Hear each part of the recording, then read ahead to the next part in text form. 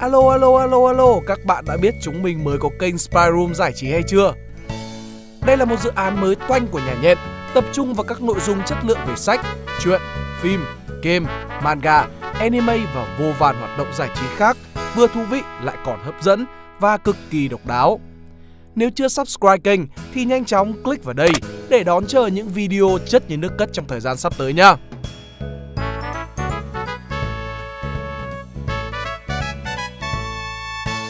Xin chào xin chào các bạn, chào mừng các bạn đã quay trở lại với Spy Room và lại là mình Pink Dot.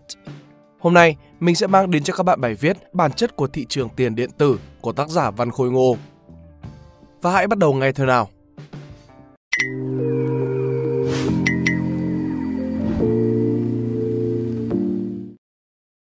Với sự tăng giá lên tận mây xanh của Bitcoin, kéo theo đó là lợi nhuận khổng lồ đến từ thị trường cryptocurrency hay như người Việt mình gọi là tiền ảo người người, nhà nhà, đặc biệt là những bạn trẻ có hiểu biết về công nghệ đều đang tìm cách để chen một chân vào thị trường cực kỳ tiềm năng nhưng cũng đầy thị phi này. Cá nhân mình cũng từng dành nguyên cả năm 2017 ngày đêm nghiên cứu về thị trường này. Trải qua hết cả từ đầu cơ, đầu tư cho đến đảo coin. Nhận thấy quá nhiều người không có một sự hiểu biết nhất định về thị trường, mình xin viết một bài phân tích cách thức vận hành của thị trường kèm theo dữ liệu minh họa từ 10.000 ví Bitcoin có giá trị lớn nhất nhằm giúp mọi người hạn chế được rủi ro nhưng đồng thời có thể tối ưu hóa lợi nhuận nếu như muốn đầu tư một cách nghiêm túc. 1. Bản chất của thị trường cryptocurrency Mặc dù từ Bitcoin hay được đi cùng với cả blockchain nhằm thể hiện sự phi tập trung, không như các đồng tiền pháp định thường bị kiểm soát bởi chính phủ hoặc các ngân hàng trung ương – đó là chưa kể đến tính chất tốt đẹp khác của Bitcoin mà báo chí hay các hội nhóm ra giả suốt ngày. Chớ trêu thay, ẩn dưới phần nổi của tảng băng là một thực tế hoàn toàn khác. Thị trường tiền số hoàn toàn bị thao túng bởi các thế lực tài phiệt mà chúng ta hay thường gọi là cá mập, cá voi. Vậy những con cá mập này là ai? Họ có thể là một người hoặc một sàn giao dịch, một trại đào coin, quỹ đầu tư hay thậm chí là các quan chức chính phủ của các nước rửa tiền nắm trong tay rất nhiều tiền, quyền lực và trí tuệ, họ có thể thao túng điều khiển cả cái thị trường này theo ý muốn. Mặc dù cá mập cũng hiện diện ở các thị trường tài chính khác, nhưng với tính chất quy mô nhỏ và không phải tuân thủ theo các quy định pháp lý của nhà nước thì thị trường tiền số là một nơi cực kỳ lý tưởng để các thế lực tài phiệt tự thiết kế luật chơi, tạo sức ảnh hưởng và kiếm lợi nhuận. Đây là một vài số liệu cho thấy sự hiện diện của các cá mập Bitcoin từ website có khoảng 100 ví chứa 10.000 Bitcoin đổ lên, tương ứng với hàng trăm triệu hay thậm chí hàng tỷ đô la. Thấp hơn chút là 2.300 ví chứa 1.000 đến 10.000 Bitcoin, tương đương với vài trăm triệu đô mỗi ví. Thậm chí một cá mập có thể sở hữu nhiều ví để tránh bị dòm ngó, đồng thời tăng tính bảo mật. Và đây là còn chưa tính đến nhiều coin lớn khác như ETH, BNB và BCH. Một ví dụ của cá mập trong thị trường này là BNB, Binance Coin. Được hậu thuẫn bởi một trong những sàn giao dịch tiền số lớn nhất thế giới là sàn Binance của Trung Quốc. Không khó hiểu khi đây là một trong những đồng tiền có mức tăng trưởng cực kỳ kinh khủng trong suốt 4 năm qua từ lúc ra mắt thị trường tiền số vào tháng 7 năm 2017.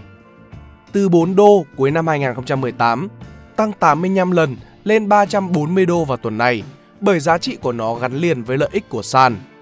Thậm chí 90% nhân viên của sàn chấp nhận được trả lương bằng BNB Coin. Riêng giá trị tài sản của CEO Binance là Changpeng CJ Zhao đã đạt đến con số 2,6 tỷ đô vào đúng một năm về trước.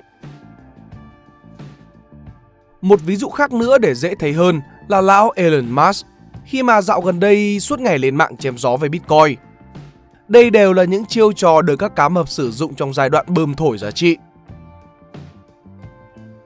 2. Các giai đoạn chính của một chu kỳ thị trường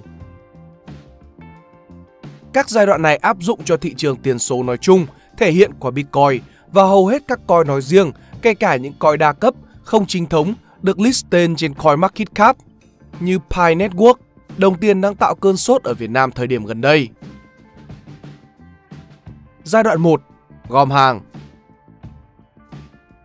Cách đầu tiên áp dụng với các cá mập thuộc các tổ chức mining hoặc đầu tư sớm vào dự án thông qua hai hình thức đào coin từ sớm hoặc mua coin từ những vòng đầu mà đồng coin đó vẫn chưa nổi tiếng.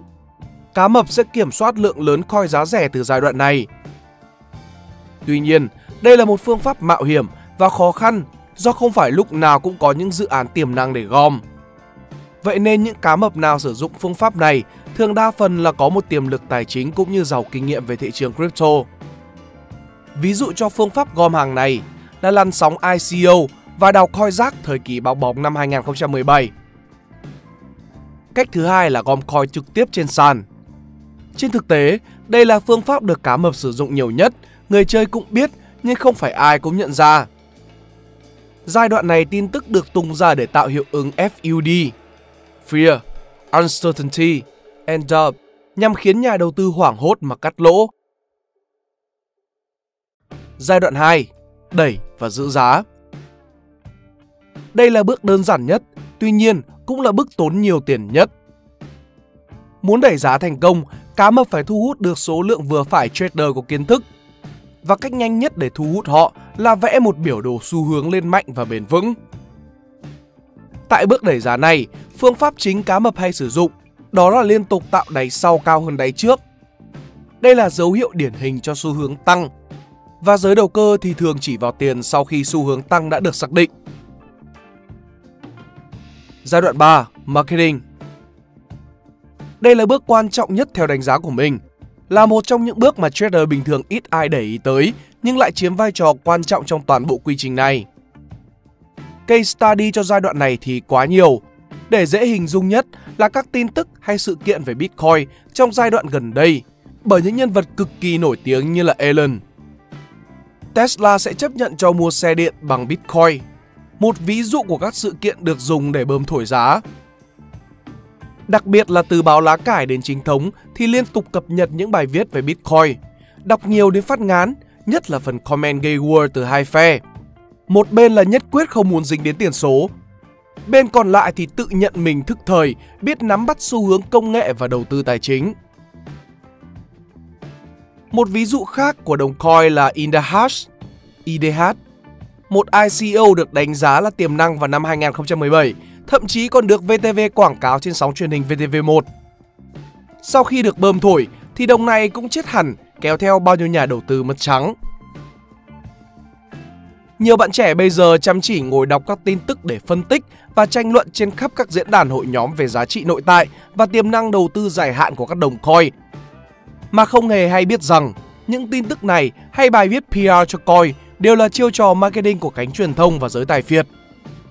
Giá trị nội tại của một đồng coin không nằm ở tiến bộ công nghệ vượt bậc, ứng dụng thực tế, cộng đồng tin tưởng hay định hướng lộ trình phát triển đúng đắn, mà là nằm ở việc cá mập có sở hữu nhiều đồng coin đó hay không.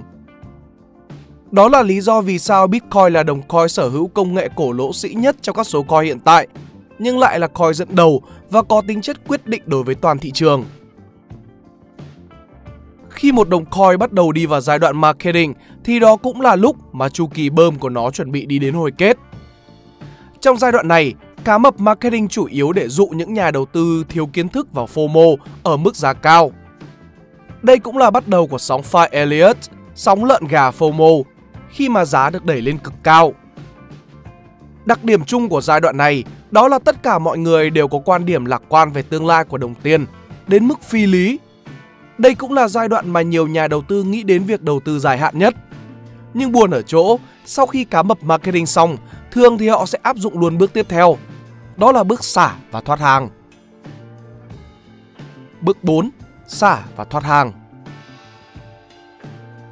Nhìn vào dưới đây, chúng ta có thể thấy sau khi chu trình bơm của cá mập đã được hoàn thành, neo coin một đồng coin được đánh giá rất tốt vào năm 2017, lập tức bị xả một cách không thương tiếc. Cú giảm của đồng coin từ đỉnh xuống đáy tương ứng với 97,5% giá trị. Trên thực tế, thị trường vào thời điểm đó có khoảng 95% coin chết hẳn, số còn lại giảm từ 85 đến 99% giá trị của từng đồng coin. Kết thúc giai đoạn này, thị trường lại bắt đầu vào một chu trình mới và giai đoạn 1, cá mập bắt đầu gom hàng. Còn hiện tại thì khả năng cao thị trường đang ở giai đoạn 3, marketing, khi mà những bài viết hay tin tức về Bitcoin và đầu tư tràn ngập trên các mặt báo. 3. Phân tích dữ liệu hành vi cá mập Một thị trường tài chính đậm chất công nghệ như crypto sẽ luôn được để lại rất nhiều dữ liệu. Và nếu biết cách phân tích khai thác nó thì có thể sẽ ra được rất nhiều insight giúp chúng ta quyết định đầu tư đúng đắn. Ở phần này, mình sẽ phân tích dữ liệu nhập xuất Bitcoin của 10.000 ví Bitcoin lớn nhất trên thế giới thời điểm hiện tại, từ năm 2010 cho đến bây giờ. Đầu tiên, hãy phân tích thêm một chút về bức ảnh thống kê các ví Bitcoin đầu bài. Sự bất bình đẳng trong thị trường tiền số thực sự rất kinh khủng khi mà 2.500 ví lớn nhất đã chiếm đến 42% toàn bộ Bitcoin lưu thông trong thị trường, tương ứng với gần 300 tỷ USD. Nếu thêm các coin lớn khác thì ước tính giá trị của coin liên quan đến cá mập có thể lên đến 500 tỷ đô, nhiều hơn cả GDP của Việt Nam vào năm 2020.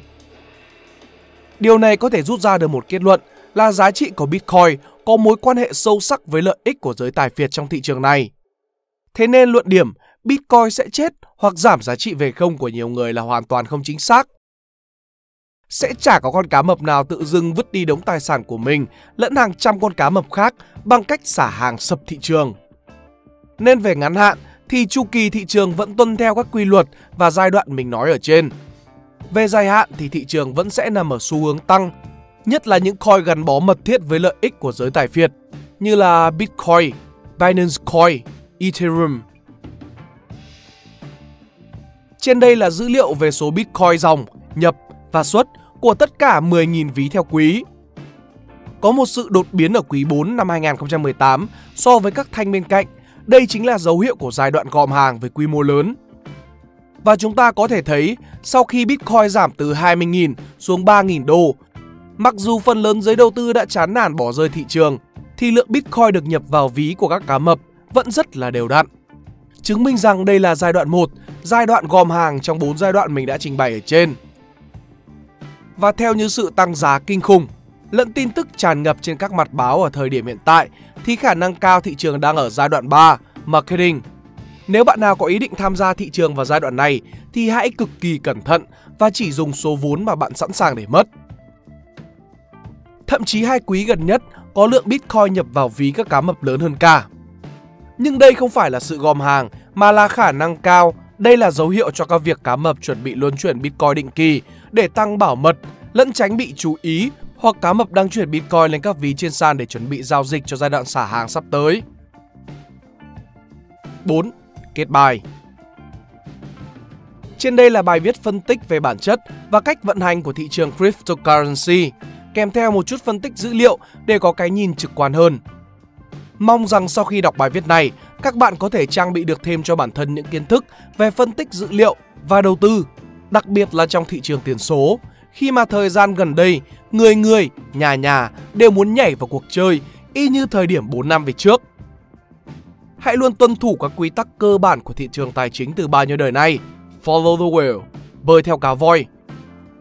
Fearful when the others are greedy, and greedy when others are fearful and never invest money that you can't afford to lose. Nếu các bạn thích bài viết này, hãy like và share để ủng hộ chúng mình. Đừng quên bấm nút subscribe và nút chuông bên cạnh để không bỏ lỡ video nào bọn mình ra trong tương lai. Cảm ơn các bạn đã lắng nghe. Đây là Spy Room, còn mình là Pink Dot. See ya!